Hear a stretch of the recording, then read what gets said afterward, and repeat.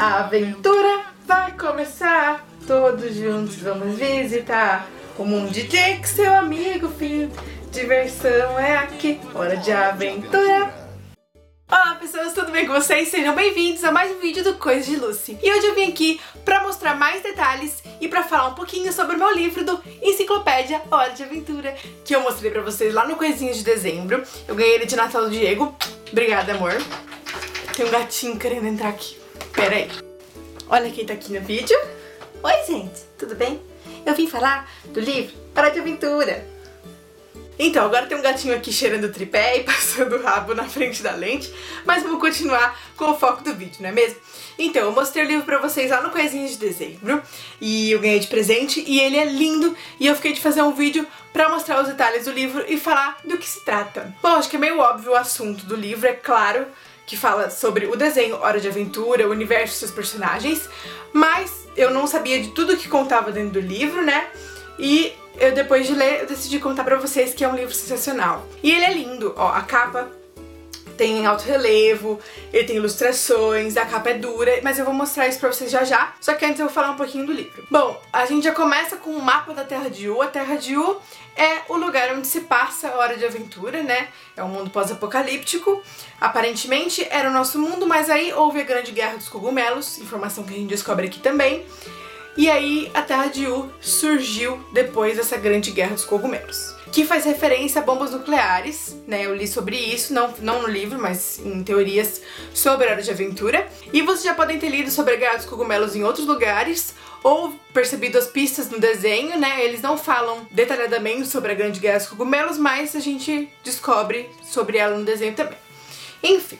E aí, o livro é escrito pelo Hanson Abadir, o pai da Marceline, né? Esse aqui, não sei se vocês conhecem. E ele é todo, né, do mal. Ele, tipo, quer sugar a alma de todo mundo. Então o livro inteiro ele fala mal das pessoas, de todo mundo. Ele odeia todos. E é muito engraçado. E o mais legal é que o livro inteiro tem comentários do fim do Jake da Marceline. É, como se eles estivessem escrevendo à mão mesmo, depois de ler o que o Hanson escreveu. E é muito engraçado a Marceline falando pra ele parar de falar dos outros, não sei o que. Muito legal. O Hanson escreve sobre os personagens que vivem na Terra de U. Ele fala mais dos personagens principais, né? Existem momentos dedicados só para eles. E dos personagens secundários, ele fala rapidamente coisas mais importantes, às vezes nem tão importantes, mas em ordem alfabética, mais pro meio do livro, ele fala de, dos personagens secundários. E é muito legal descobrir coisas dos personagens que a gente ainda não sabia, pelo menos tinha coisa que eu não sabia ainda, e eu adorei ler sobre isso aqui. Ele também conta um pouquinho de como que surgiu a Terra de U, dos lugares que existem na Terra de U, quem vive onde, é, criaturas ele fala do Inquiridium, que é um livro que aparece no desenho e é muito bacana. E eu adorei uma parte que tem o manual do Bimo, e o Bimo é um dos meus personagens favoritos. Eu amo o Bimo, ele é tão fofinho. Durante o livro a gente pode perceber que ele odeia todo mundo, mas que ele ama muito a Marceline. Ele, quando ele vai falar da filha dele, ele fala todo orgulhoso, feliz, fofinho. Nem parece o mesmo cara que tava escrevendo o resto do livro, mas ele ama a sua filha porque ela é uma vampira e ele acha que ela também é do mal, então é maravilhoso o jeito que ele fala. E é muito engraçado que tem umas partes que ele fala assim: ah, se você continuar a ler esse livro, você vai morrer, eu já te avisei. E aí eu ficava tipo, hum, e aí? Continua não continua? Tipo, Bobeira é um livro que foi comprado numa livraria perto da minha casa. E eu com medo de ler. Não fiquei com medo de ler, mas sei lá. É muito engraçado essas coisas. Quando o escritor fala pra você não ler e você teimoso vai ler, e é muito bizarro assim. E aí eu até postei no Snap assim: se eu morrer, a culpa foi do livro, pra todo mundo ficar ciente. E eu fiquei muito feliz de ter lido esse livro, de ganhar esse livro, porque ele pode parecer que só tem algumas coisinhas do desenho, mas ele é muito legal, cheio de informações legais, muito gostoso de ler. Eu li rapidinho, acho que foi dois dias que eu demorei pra ler. E, meu, muito, muito bom mesmo. Então, parabéns pela edição, Panini, eu amei. E a Panini também já lançou outros livros de Hora de Aventura. Tem um que é só da Marceline, tem um que é da Fiona e da Cake. Eu ainda não tenho, mas eu quero logo. Então agora eu vou mostrar pra vocês os detalhes da edição desse livro incrível. Bom, esse é o Enciclopédia Hora de Aventura. Ó, não sei se vocês vão conseguir ver, eu vou tentar dar um zoom aqui. A capa tem alto relevo, foco.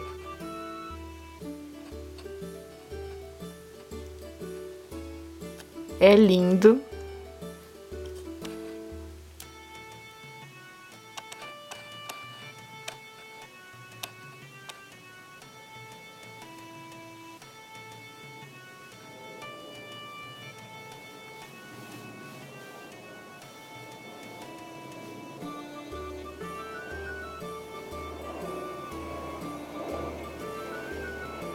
É o livro mais perigoso da história, gente. Parem tudo, parem as máquinas. O livro mais perigoso da história. Aí logo de cara a gente tem um mapa da Terra de Um, mostrando os lugares, ó. A Casa da Árvore, Reino Doce, Reino Gelado, enfim.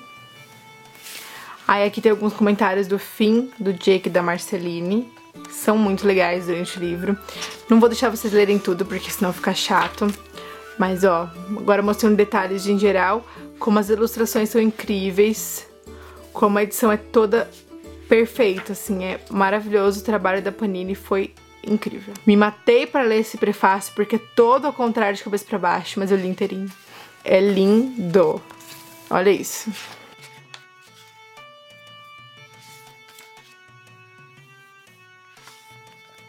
Ah, que lindo, aqui fala do fim. Então, como eu disse, é, existem partes dedicadas aos personagens principais, ó, como é grande do fim. Jake. Jujuba, né? E aí depois, mais pra frente, ele fala dos personagens secundários em ordem alfabética. Aqui, ó. Habitantes absolutamente insignificantes da Terra de U. que eu anseio por destruir. Ele fala assim o livro inteiro, tipo, que ele quer destruir todo mundo e tal. E aqui ele vai falando rapidamente sobre os personagens secundários. Fiquei muito feliz que tem o Bimo. Eu não acho o Bimo secundário, tá? Eu acho que deveria ter mais informações, mas pelo menos tem um manual do Bimo que completa um pouco, eu fiquei bem feliz. E eu fiquei feliz que tem a Princesa Frutinhas, que é uma das minhas princesas favoritas. Quer dizer, acho que ela é minha princesa favorita. Cadê a Frutinhas? Ah, tá lá no P de princesas, não é no F. Cadê? Aqui, ó. Ela é mais fofa, gente. Olha só. Vou dar zoom nela pra vocês verem. Princesa Frutinhas, Princesa Fofinha. Amo! Enfim, olha. Lugares da Terra de Um. Meu, é maravilhoso, gente. Assim, só tenho elogios. Olha o manual do Bimo! É lindo. Olha que fofo, gente.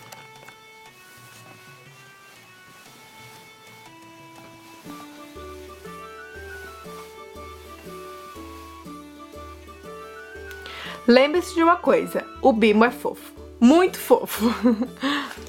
e é isso, mais ou menos isso que eu tinha pra mostrar pra vocês, tá? Essa é a parte que eu falei que se... Ó, música, tem a música das batatinhas, que eu amo. E aqui fala um pouquinho sobre o autor, Martin Olson, né? Que tá escrito aqui que foi escrito pelo Hanson Abadir e traduzida pelo Martin Olson. Aqui é aquela parte que eu falei que não podia continuar a ler o livro. Ó. E é muito engraçado, né? Porque você fica meio, ah, e agora?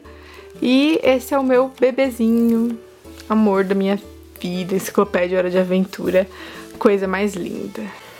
Ah, gente, lá no blog eu tirei várias fotos do livro também pra vocês, tá? Então não esquece de acessar lá, vou deixar o link aqui embaixo do vídeo pra vocês verem as fotos que eu tirei do meu livrinho lindo. É isso.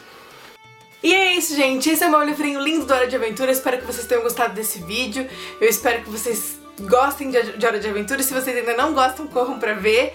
É, se vocês já têm o livro, conta aqui nos comentários pra mim o que, vocês acharam da leitura, o que vocês acharam da edição.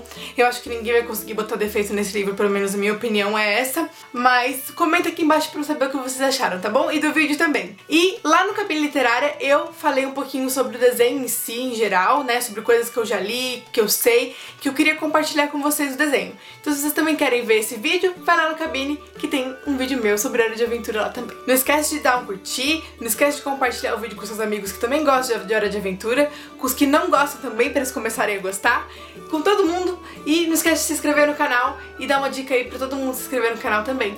Um beijo e tchau! Tchau! Esse é um gatinho lindo.